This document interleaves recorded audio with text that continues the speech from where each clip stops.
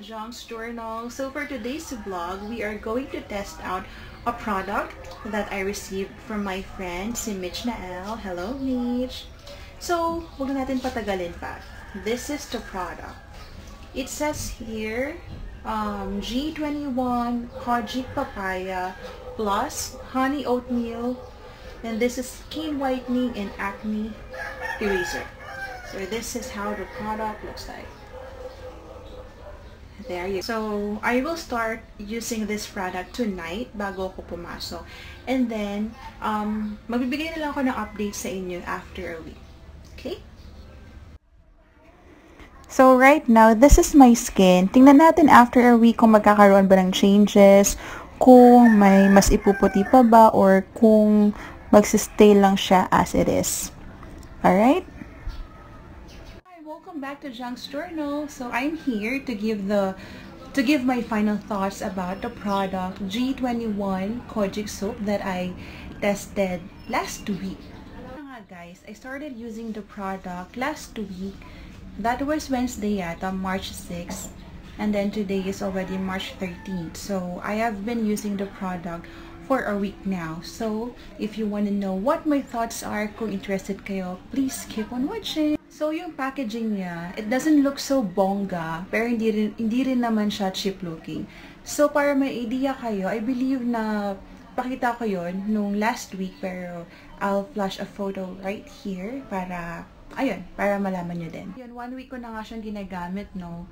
What I like about this product is, hindi siya katulad ng ibang Kojic soap or ibang mga pampaputi na soap na ginamit natin, na alam niyo yung feeling na mainit, habang nilalagay siya sa katawan or even after mo maligo na parang ang init sa skin na mamumula-mula ka.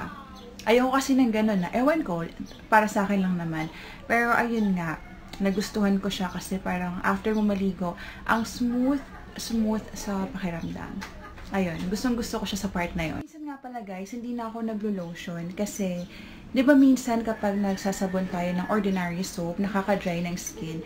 In fairness naman dito, um, after ko talaga maligo, very smooth naman siya. So ayun, nakakatipid din ako sa lotion. In fairness, good job. Guys, hindi ko to ginagamit sa face ha, sa katawan lang. I know meron mga reviews na okay to sa mukha, pero takot kasi akong i-try kasi kakagaling lang ng face ko sa breakout. So, ayun, may ginagamit kasi ako ngayon na so far okay naman sa face ko, which is Maxipil. So, ayun, sa katawan ko lang siya ginagamit. But, who knows, baka one day, i-try ko rin din, i-try ko din siya sa face. Let's see. Pumuti ba ako? I'm not gonna lie. I think yes, pumuti ako ng very, very light. Siguro mga 0.5, 0.5 lighter sa shade ko last week. Pero, I will let you be the judge. Alright, folks. This is my skin now. Ano sa tingin nyo? Pumuti ba ako? Or same lang? So, ayun, nagustuhan ko yung product and I think bibili talaga ako nito. Matagal-tagal kong gagamitin to. So, the product retails 130 pesos and if you are interested to try it, I will put their link, their Instagram in the description box. Before we end the vlog, shout out to ex-Lord Chris. Ayun, finally na shout out na rin kita. Sobrang sorry. And thank you for watching my vlog. Sobrang na-appreciate kita.